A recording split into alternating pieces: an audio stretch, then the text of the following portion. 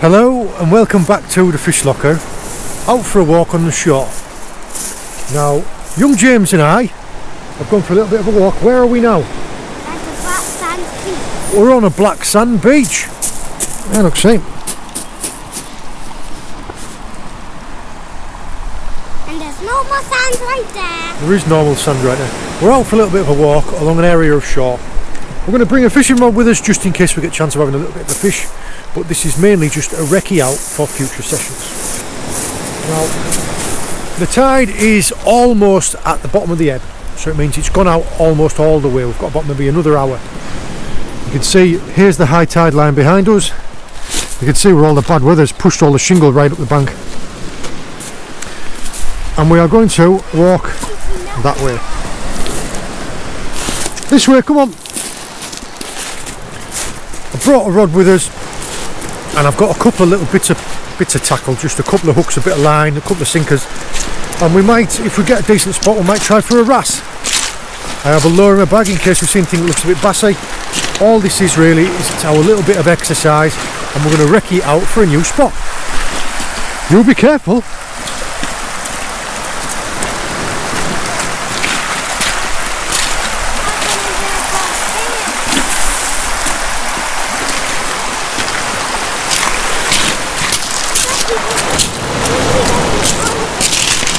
One of the things that I guess we kind of take for granted in some areas of the UK, which it's, it's been highlighted to me by, by people who live in the Mediterranean especially, and other areas of the world, is how big a tidal range we have here in the UK. Sometimes a year, I mean, right now we have got some big tides at the moment, so there's about four and a half to five metres of movement. So you can see that the high tide line is well above where we are, and the low tide line is right down there. So yeah, we do get quite a lot of movement in the UK.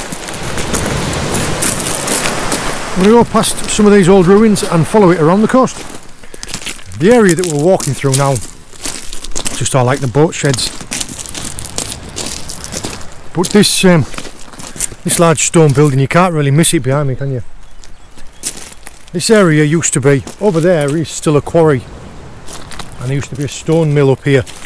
And that was the old um, the old stone silo. So big ships used to come in here and be loaded up with uh, with aggregate. So that's what that is. What you found? A plant. Oh, right. Yeah. You can see here where he's used a winch. I don't know if you can see the winch up inside inside that shack to pull the boat up the shingle. Because these boats have got to run up the shingle, they have got reinforced skids underneath the bottom of them. And what they usually use is they use like logs as rollers.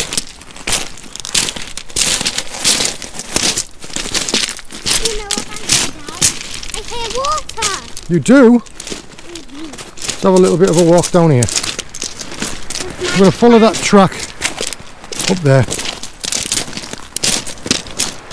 I've left James down there busying himself rearranging the beach and I'm to have a little walk down here.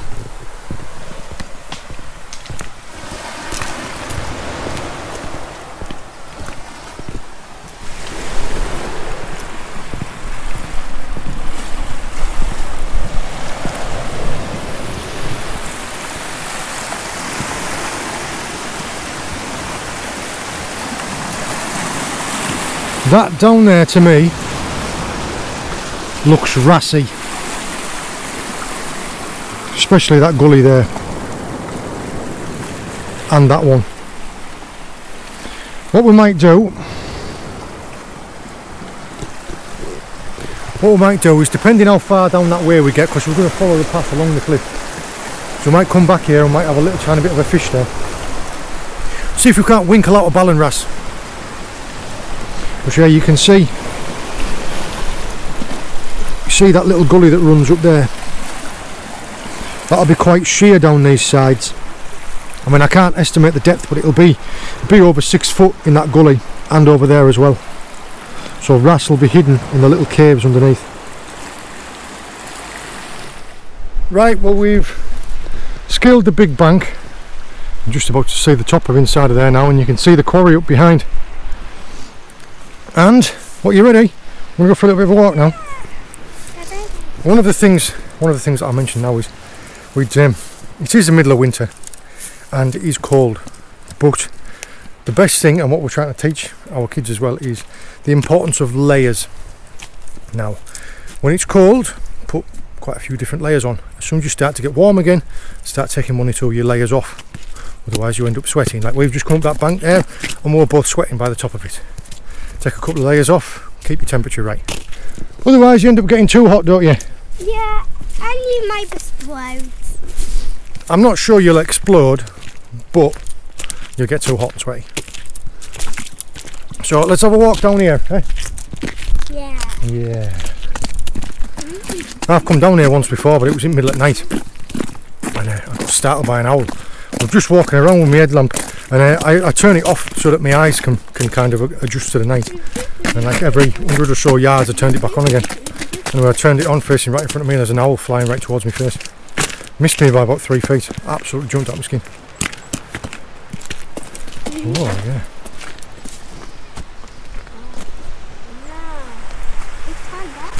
Of course we can. Yeah, that does look rassy down there. That down there looks rassy as well. The stone mill just down the ways. I'm assuming that all of this is stone that was ground up.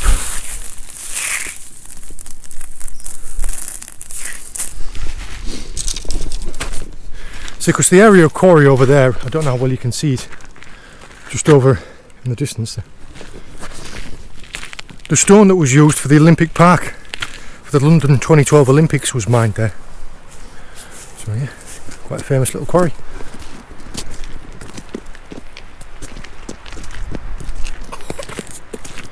You alright? Okay, well be careful. You swallowed a fly. That there.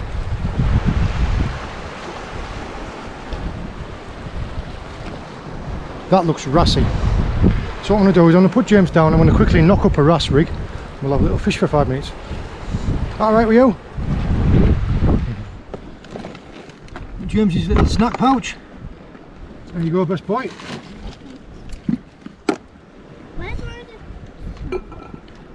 What is it you want? I just put it on like. And that's it. That's literally up. Oh, and I've tipped it all over all the rocks because I've got the packet upside down. Yeah, if you keep everything in a Ziploc bag, you don't lose it anywhere. I have three or four different weights of leads, just all like an ounce, some 15 pound fluoro and just some little hooks and swivels. And all I'm going to do is I'm just going to knock up really quick a little two hook wrassing rig and then we'll scrat around around here looking for a bit of bait. You alright?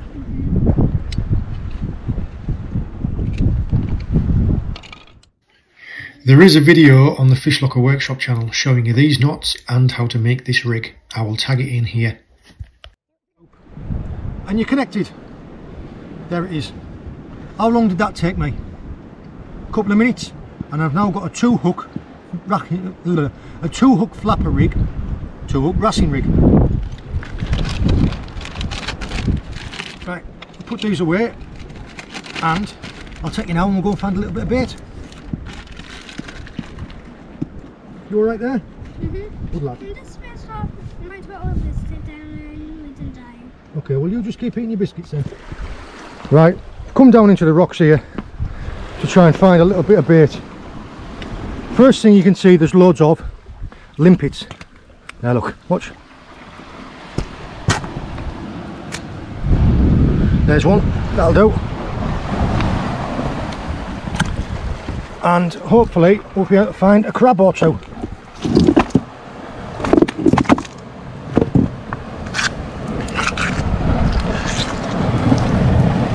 So flip over a couple of these rocks here. Flip over a couple of these rocks, see if I can't find a crab. Right, I'm going to pass you over to James the cameraman. So Have you got this? Yep. Can you see me all right? Yep. Perfect. Right, what I've got is I've just knocked one of the limpets off the rocks. And all you need to do is you just take your knife and you just, right, what I need you to do is just angle down so you can see my hands. Can you see it? Yep. Perfect. You just scoop your knife around the outsides of it and it just lifts out like that. It's that simple and all you need to do is take the limpet thread it through the hook a couple of times. There you are. Can I have the camera back now? Foreign property. So there you go, James the cameraman. Right, all I've done is I've just scooped out a couple of limpets and I've just hooked onto here. So there's my rig. And all I'm going to do is I'm just going to fish it straight down the side of here.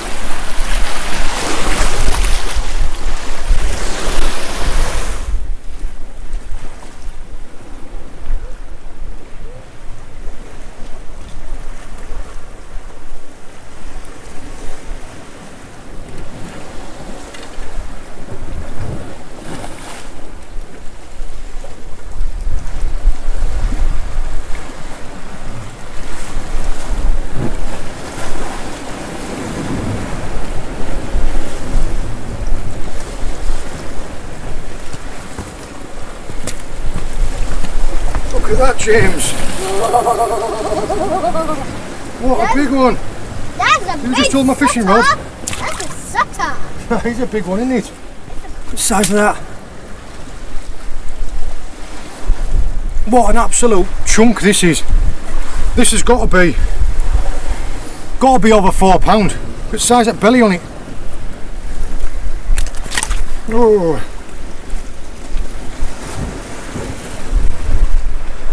Get it? What an absolute chunk. Just taken on a a one o Chinu with a little bit of limpet. Look at that! What a monster! Yes.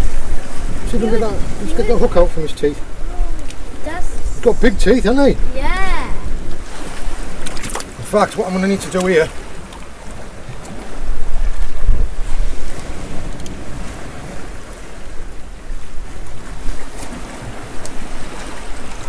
There we go. Just use the Leatherman.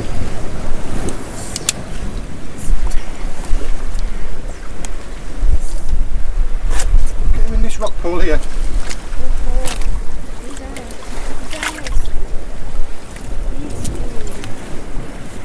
What a result! What a big one, eh? He just laying on his sides now. It's because the pool's not very deep, James.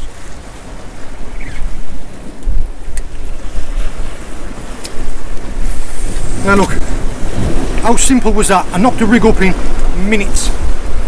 Scratched around and collected some limpets. Let's get a photo of this fish quick before it gets away. What a beauty! Like I say, it's got to be well over £4.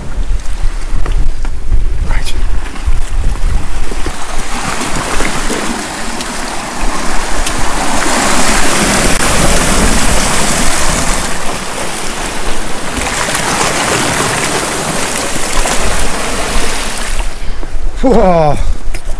That was a good one, wasn't it? Yeah. How big was it? So big. Yeah, told you it looked grassy down there. Right, what we're going to do is uh, we'll fish this mark and I'm going to go further along that way now. So we'll uh, we'll wrap up what we're doing and we'll go. It's doing what? Dripping water. There is a cave that's dripping water apparently. Yeah. So this is where we're going.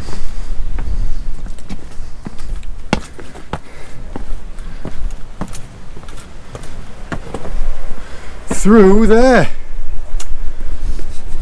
One of the things I'll give a I'll give a safety warning straight away is that if you're ever going to do anything like this, is you need to know what the tides are doing.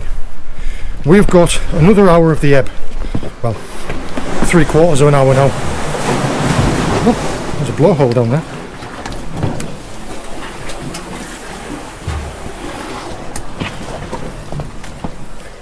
That's a nice little.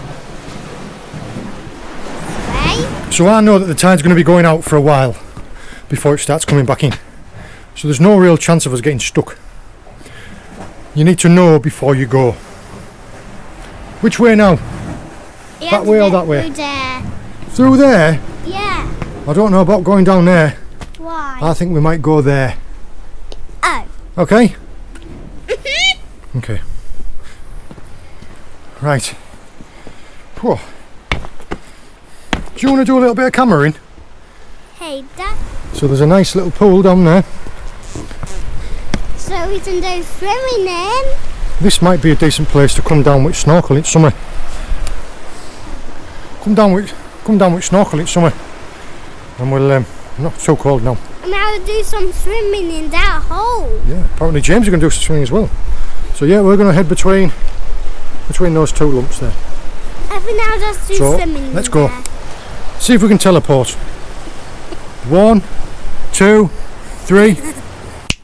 it's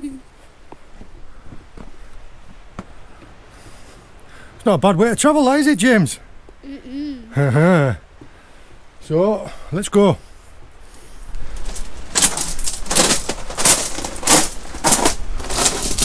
Wow. A bird. Saw a bird. Oh, yeah.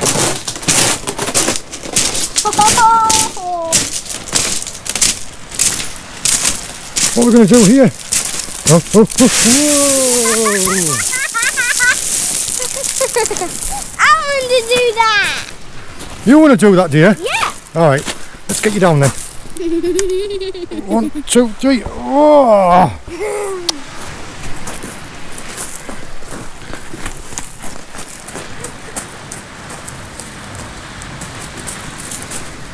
You can't make it, can you? What you want to do is go down to that end, look. Climb up where it's shallow. Come on, no, come all the way up here. It's all right, I'm here, I'll get you. Keep coming, right here in front of me. Keep, no, this way, this way. Right, that's it. Down you come. Come on. Just walk forward.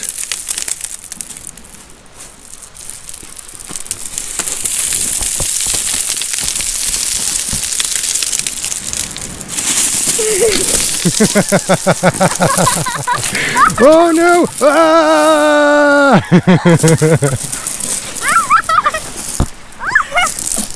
Let that be a lesson to you. Don't trust anyone.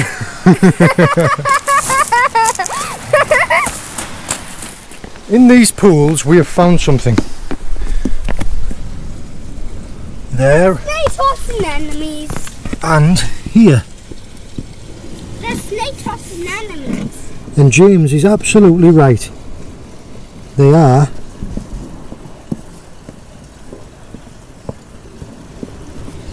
Snakelocks anemones. What are they called? Snake enemies. Snake. Snakelocks anemones. So yeah, he's right. The only problem now is that once we've teleported once, it wants us to do it all the time. This little area here, I am glad that I've come down and had a look.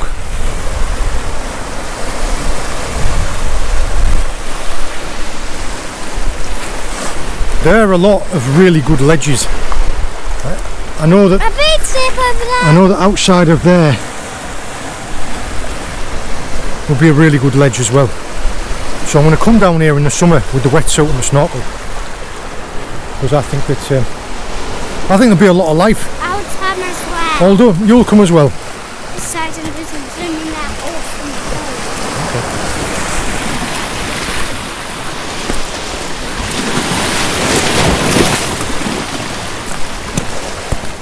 boat. That looks like a good ledge off the edge of there to try and catch a wrasse. Maybe try and have a little hop, skip and a jump across there. Actually, it doesn't look that deep to be honest. Clarity's really good.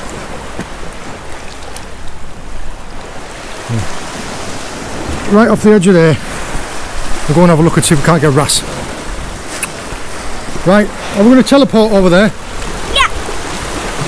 One, two.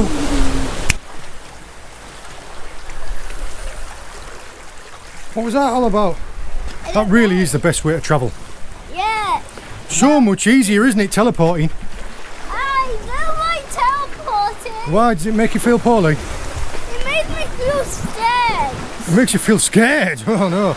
So no more teleporting. Yeah. We'll have a little try for a wrasse just down there. Well, we made it. That is the little ledge that we were just fishing off. Just down there. That is the little gap that we just came through.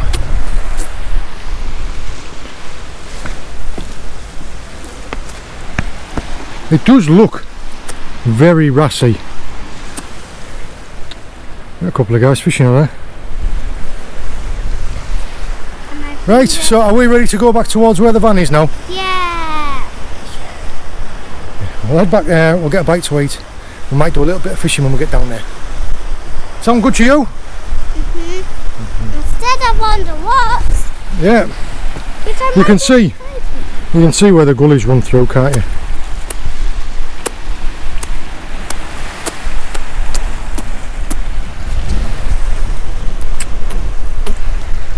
What are you doing up there? Okay, well we've made it back to the beach. What we're going to do is I'm going to try and sneak us down there and we'll try and fish for a wrasse. Try and see if we can sneak out one more wrasse. You're going to have your pack out, aren't you? And then we're going to have uh, throw some stones on the beach before we go home. It's been a nice little walk. Have you got a fly up your nose or something? What's going on up there? Because all you seem to be doing is you're just blowing bogies in my hair. Hey.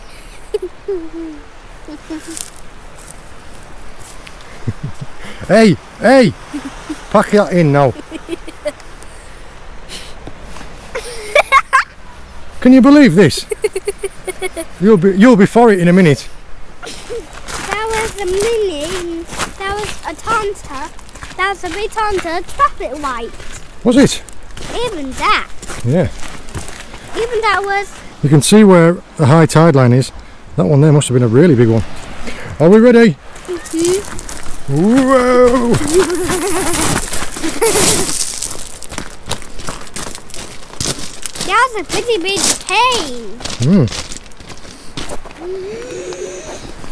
Might need to put the camera down for this one. Right, well, we're just fishing down into there. Just getting a little tiny pecking bite actually. James, you've got your pack out, haven't you? With your crackers and your fruit pouch. Ooh, Oh my blood. and your bread. Yeah, we'll just, we'll sit here, cool down for a little bit because I'm sweating a bit now. Oh, oh, that was a bite then. See it? Wanna hold this for me? Mm-hmm. Oh.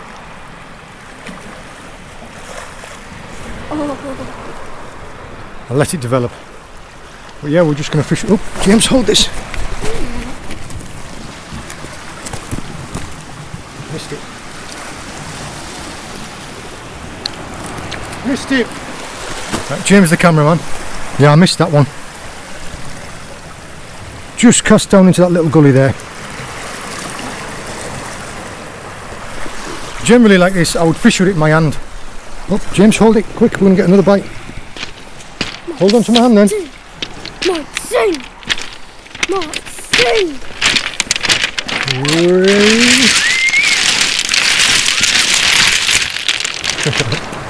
we made it! One more time on. One more time. I do love the smell of fresh seaweed on the beach. When it's when it's fresh up, it's nice. Uh, reminds me of when I was a kid. Go on and you'll be quick, you can have one more go on that bank.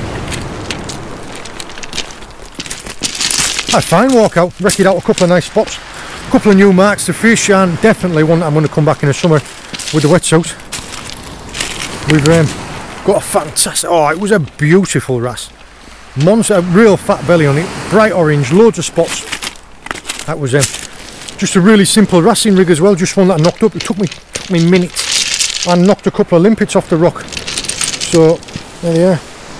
Did try just at the other side of along the back side of there and I did get a couple of bites when me and James were sat having a bite to eat but you really need to fish with a rod in your hand because when a wrasse takes it you really go I did did get a really good bite but I missed it but um, yeah fantastic little walk out fresh air a bit of exercise James hasn't yet broken his neck so yeah it's a, it's a win I saw any of the locals as soon as you see that behind me you'll know exactly where that is um, I'm not going to publicise it but I've given you enough clues in this video so you'll be able to find out where it is. Dad, I want my adventure knife. You want your adventure knife? Yes. Okay, one second. Alright, you hold this. Okay, well you go and have fun with your adventure knife. We're going to go skip some stones and then we'll work my way back to the van. I, uh, I hope you've enjoyed joining us. I hope you've enjoyed the day out. Gorgeous day out. Um, all the very best. Take it easy. We'll see you later.